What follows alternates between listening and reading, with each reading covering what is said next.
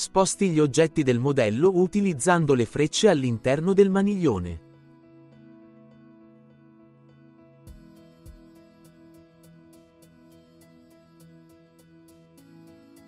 Inserisci un valore tramite la tastiera per spostare un elemento. Inserisci un valore tramite la tastiera per ruotare un oggetto.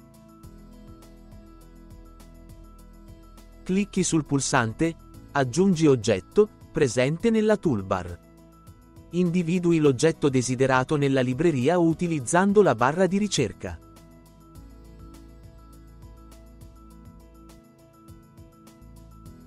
Indichi la struttura spaziale e la classe da assegnare all'oggetto.